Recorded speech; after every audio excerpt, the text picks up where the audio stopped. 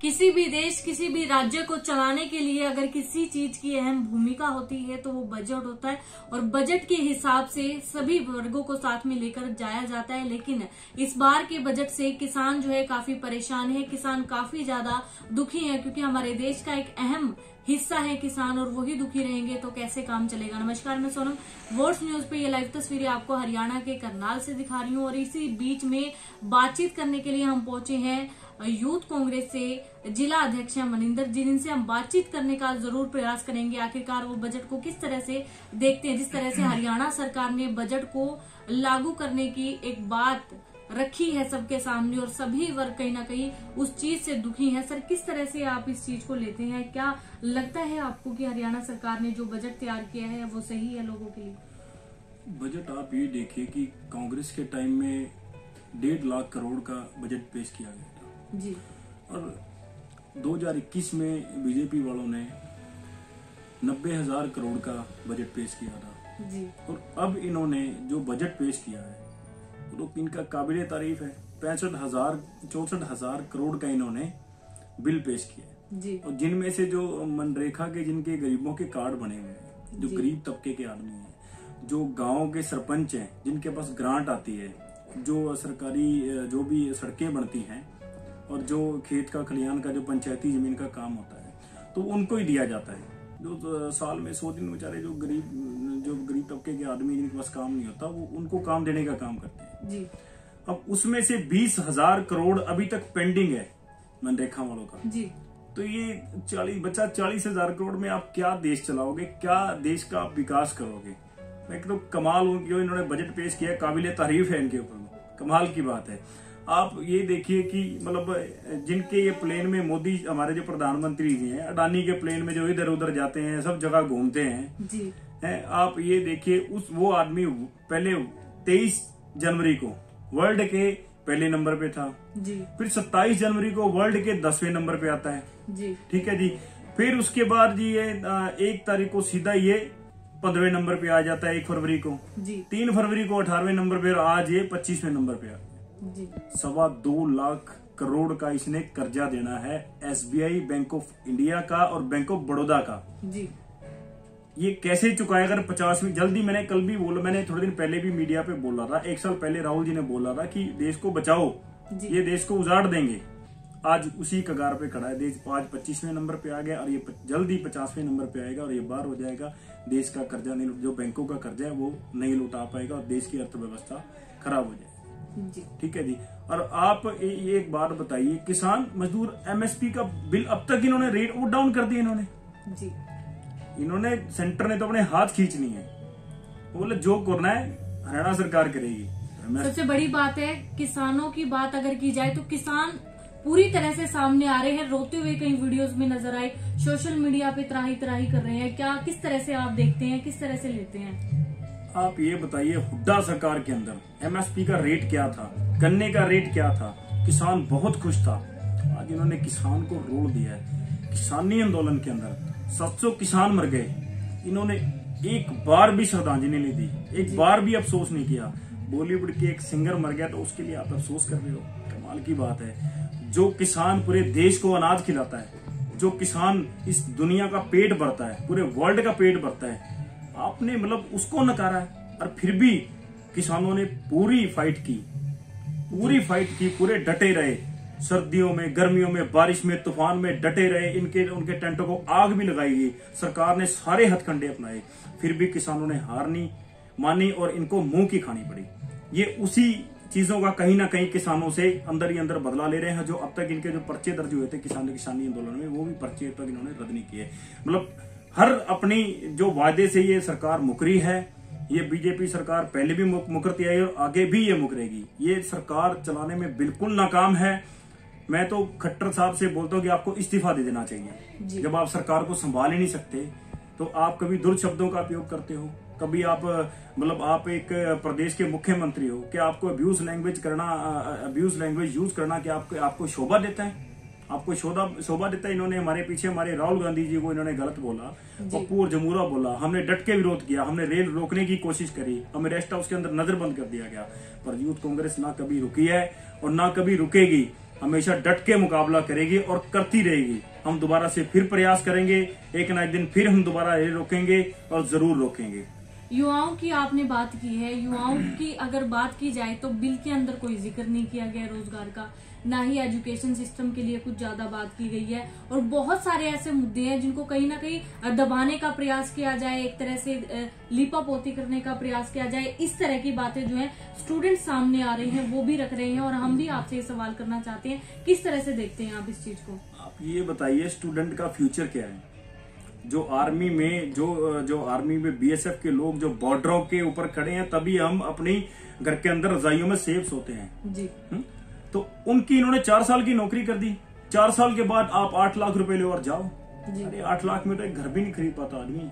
आठ लाख की तो गाड़ी भी नहीं आती ढंग की जी सर। तो आदमी कैसे गुजारा करेगा? फ्यूचर तो इन्होंने बर्बाद कर दिया। अभी पीछे इन्होंने मेडिकल स्टूडेंट के ऊपर लाठी चार्ज किया उनके ऊपर पर्चे दर्ज कर दिए। आंगनवाड़ियों जो आंगनवाड़ी की औरतें थी उनके ऊपर भी इन्होंने लाठी चार्ज किया। जी। अरे कहा नहीं इन्होंने बर्बरता का काम किया कहा नहीं इनको इन्होंने पब्लिक का खून चूसा और कहा इन्होंने पब्लिक के साथ कहा अन्याय नहीं किया इन्होंने। कहीं ना कहीं ये सरकार फेल हुई है और फेल ही होगी। पहले भी आज से 20 साल पहले जब अटल बिहारी वाजपेयी थे तब उन्होंने ये सरकार चलाई थी। उसके बाद ये 20-30 साल तो लोग ही गए थे, बीजेपी का नामो निशान। अब ये आई है, अब ये इनका जाने का टाइम हो गया अब कांग्रेस आएगी, उसके बाद लोग इनको भूल ही जाएँगे कि बीजेपी के नाम का था। आज सरकारी गरीब तबके का आदमी परेशान है, व्यापारी इनसे परेशान है। हर आदमी इनसे परेशान है। काश काश इस देश के अंदर हैंडबर्ग का कोई ऑफ़िस होता। तो काश सीबीआई आईटी शायद ये ज़िंदा होते। बहुत बड़ी बात है सर, जिस तरह से आपने अपनी बात रखी है, जिस तरह से युवाओं के मुद्दे को आप हमेशा ही उठाते हुए नज़र आते हैं और आप खुद भी ये ज़रूर ऑब्ज़र्व करते होंगे कि जिस तरह से ये बातें कही जाती है, जिस तरह से बिल लागू किए जाते हैं या फिर कोई भी नई नीति आती है, वो किसी की भी भलाई के लिए नहीं है, लेकिन ये नीतियाँ बनती क्यों है और किसके लिए बनाई जा रही है? ये नीतियाँ अमीर अमीर लोगों के लिए अब आप अब आप टैक्स की बात देखिए, आप, आपने सात लाख के ऊपर टैक्स फ्री कर दिया आपने टैक्स की छूट दे दी आपने ठीक है जी? वो तो जो अमीर लोग हैं जो सात लाख कमाते हैं सालाना जो बीस लाख पंद्रह लाख कमाते हैं वो तो उनके लिए है। अरे जो गरीब आदमी जो दो लाख रुपए सालाना कमाता है उसके लिए थोड़ी ना तो राशन कार्ड काट दिए गए हैं बहुत सारी ऐसी चीज़ें सामने आई हैं। फिर कहाँ जाएगा गरीब तबके का लोग? जितने भी लोग हैं हमेशा ही किसी ना किसी चीज़ को लेके स्ट्रगल करते रहते हैं और वो लोग उनके बारे में ना तो सरकार सोचती है, ना फिर कोई सामाजिक संस्था सोचती है। अरे, राशन कार्ड मैं आपको दिखाऊँगा। मैं अगली बार जब आप इंटरव्यू लोगे तो मैं लेडीज़ आपके सामने खड़ी करूँगा, जिनके जो बेचारी विडो है, जिनके राशन कार्ड काट दिए हैं, जो बेचारे छह हज़ार रुपये महीना कमाते हैं, वो कैसे अपना बच्चा पढ़ाएँगे? कैसे अपने परिवार का गुजारा करेंगे? आप ये देखिए सिलेंडर हमारी हमारी सरकार है। हमारी सरकार राजस्थान में भी है हमारी सरकार छत्तीसगढ़ में भी है हमारी सरकार हिमाचल में भी है। वहाँ सब जगह पाँच सौ रुपए का सिलेंडर मिल रहा है। पाँच सौ रुपए पर सिलेंडर मिल रहा है वहाँ पर। अरे यहाँ देखिए आप महँगाई आसमान छू रही है ग्यारह सौ रुपए के आसपास सिलेंडर होता जा रहा है। और आप ये देखिए आटे का वहाँ रेट देखिए और यहाँ देखिए आप आटे का रेट हरियाणा में। बीजेपी सरकार के अंदर आप आटे का रेट और सिलेंडर का रेट देखिए आसमान कहीं ना कहीं महँगाई आसमान छू रही है। तो मतलब गरीब तबके के आदमी के लिए क्या किया है? अरे आपने पार्षदों के हाथ काट दिए। कोई अनपढ़ आदमी आप ये बताइए अनपढ़ लेट मैं थोड़े दिन पहले मैं कोर्ट में था ई दिशा में मुझे कोई काम था मैं वहाँ गया मुझे एक बेचारी दो बुज़ुर्ग लेडीज़ मिली हुई हमें तो पढ़ना नहीं आता हम यहाँ राशन कार्ड बनाने के लिए उनका राशन कार्ड काट उनको बेचारों को क्या पता है ई दिशा क्या चीज़ है कहाँ जाना है कहाँ नहीं जाना। जी। मैं उनके साथ चल के उनकी मैंने हेल्प की। मतलब आपने तो पार्षदों के एमसीओ के हाथ काट दिए जो बेचारे कार्ड बनाते थे राशन कार्ड गरीबों के लिए। अब वो पूरे मतलब करनाल के जो ई दिशा में कहाँ कहाँ धक्के खाएँगे? वहाँ जाते हैं सिस्टम स्लो चल रहा है सिस्टम नहीं उठा रहा। लोगों को धक्के खिलाए जाते हैं बार बार कोई 20 किलोमीटर गाँव से दूर आ रहा है कोई कहाँ से आ रहा है कोई कहाँ से आ रहा है। कहीं ना कहीं जनता बड़ी परेशान है इनसे दुखी आ चुकी है।